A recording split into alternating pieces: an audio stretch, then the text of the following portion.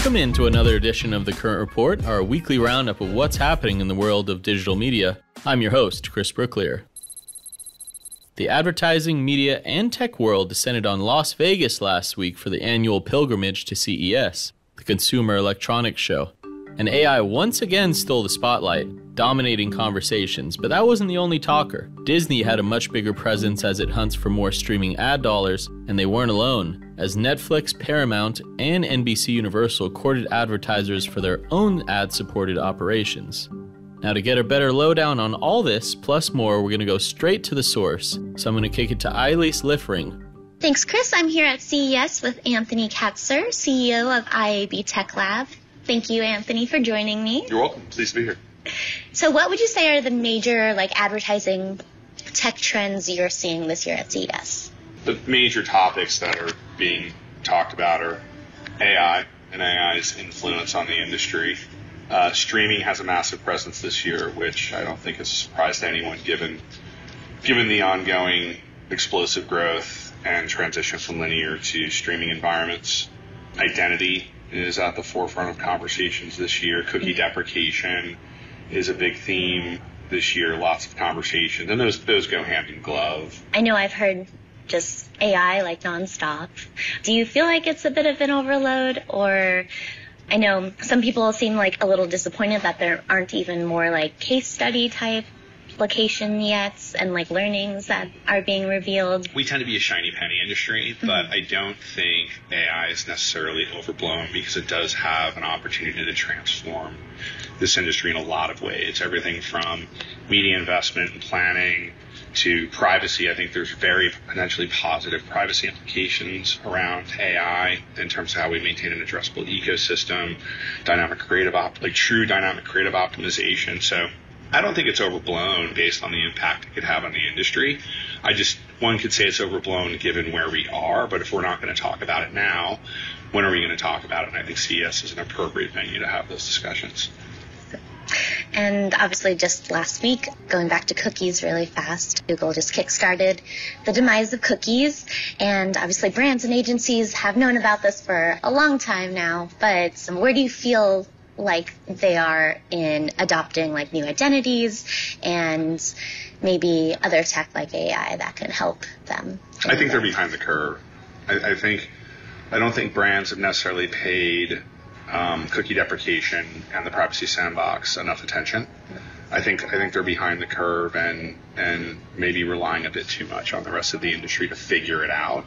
Um, the industry will figure it out, but I think brands need to brands need to be at the table front and center, working with the ecosystem to understand the impact cookie deprecation is going to have on their ability to reach their consumers, mm-hmm. optimize their reach and yield curves against their advertising budgets.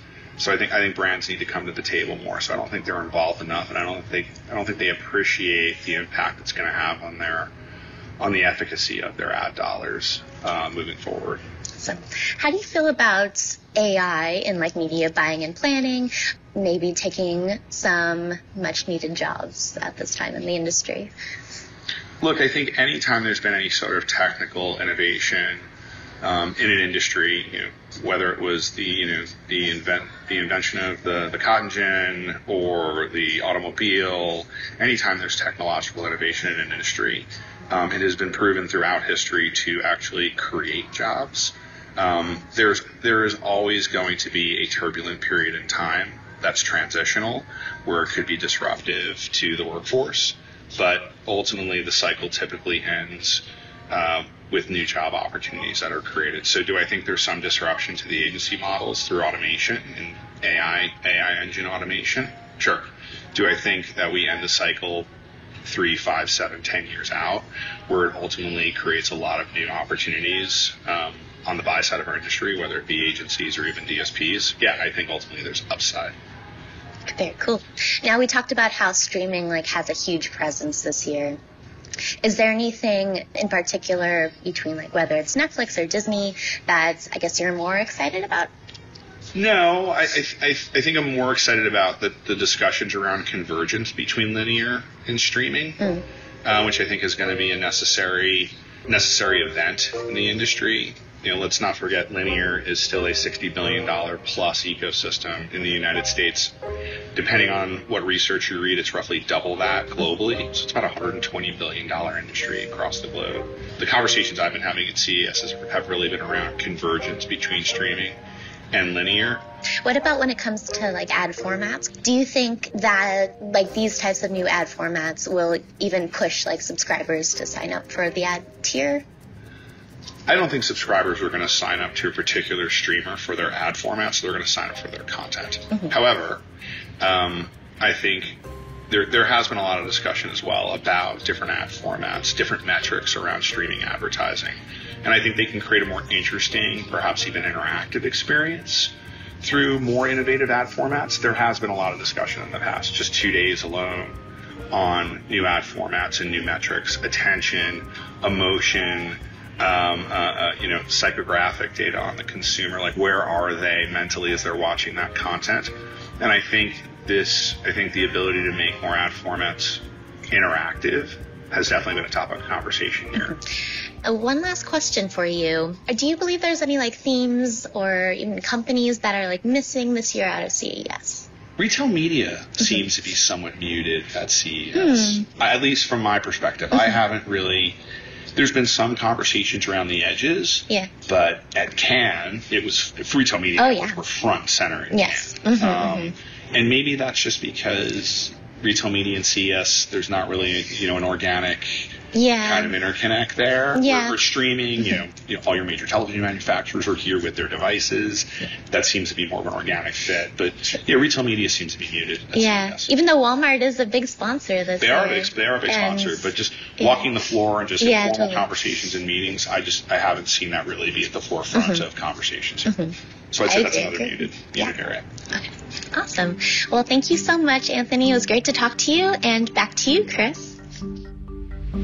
Thanks, Elise. Next, we're going to pivot to another marketer on the forefront of innovation. We're talking with Amol Waishampayan, the Chief Product Officer at Full Throttle. Full Throttle is a company that works with brands and agencies to shore up their first-party data strategies. Amol, how you doing? Good. Thanks for having me, Chris. So we're fresh into 2024 now, but I want to take a look back at last year for a minute. So as we look at the data privacy and identity landscapes, what stood out to you in 2023? So even though there's been so many really neat and unique innovations around cookieless uh, IDs and you know how CTV can be more data informed, um, they typically only uh, work for you know more quote unquote Fortune 500 companies. So I think there's this there's this big kind of almost missing story around well what happens to all of these advertisers that in aggregate represent so much advertising spend and they're still subject to the same kind of seismic, you know, ad tech fracking, if that's the right word, where you have,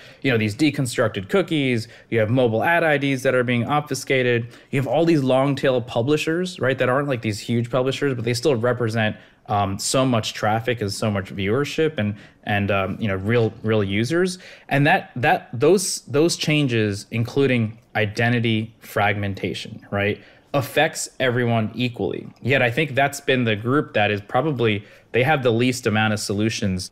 And if we zoom out and go a little bit more big picture, I feel like CTV is in a really interesting spot as part of the this whole discourse. So, to you, how does CTV play in everything around cookies deprecating, and what's its role really?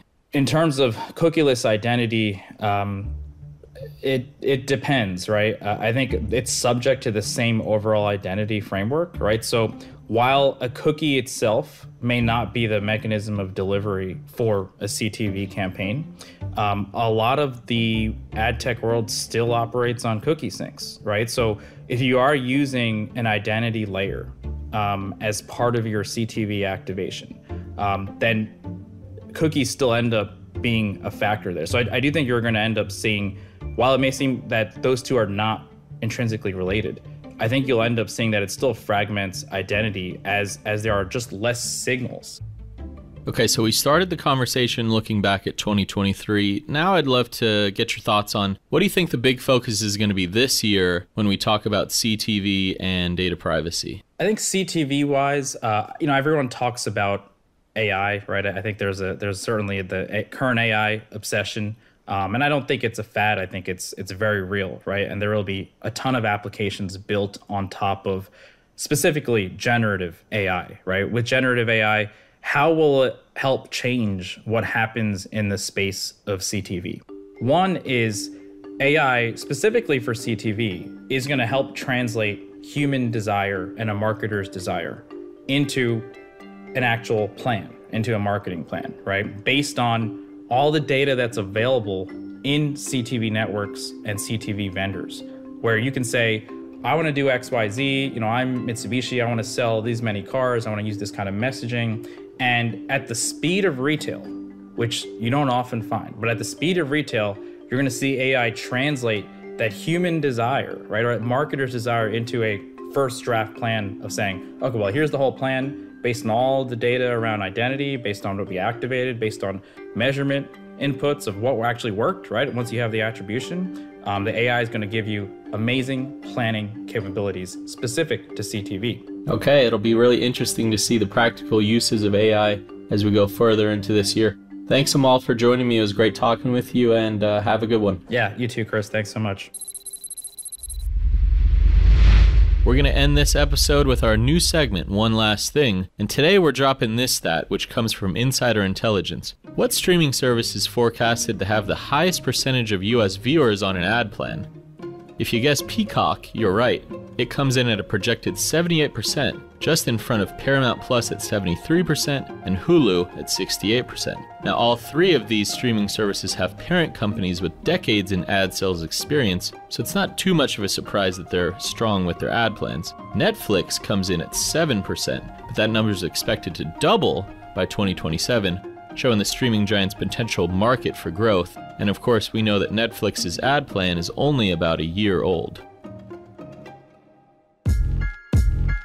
That's it for this edition of The Current Report. For a deeper dive on all these stories plus more, check out thecurrent.com. And of course, please like and subscribe on YouTube, plus leave us a review on Spotify, Apple, or wherever you listen. And if you want to hear more from The Current, Listen to the current podcast, where we interview some of marketing's biggest leaders about their keystone career moments and where the industry is going next. We'll see you next week.